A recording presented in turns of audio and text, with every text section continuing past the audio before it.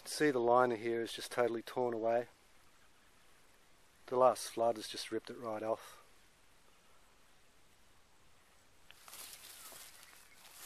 There is no liner left in that whole section.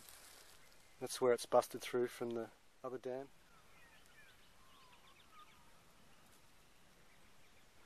This has been overflowing, runs down there into a gully.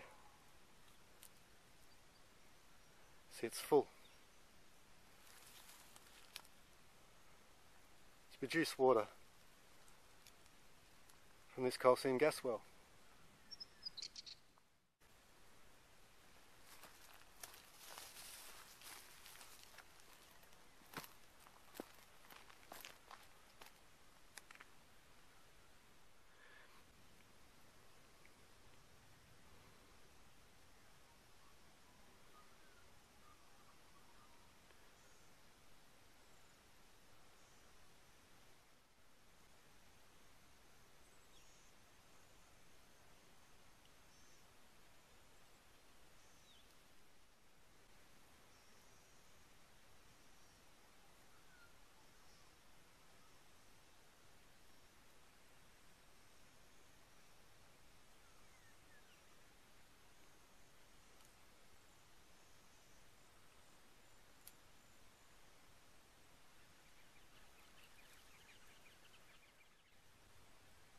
Liner is all totally torn and ripped.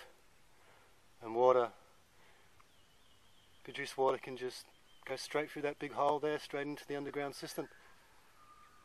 It's leaking underground continually 24 hours a day 7 days a week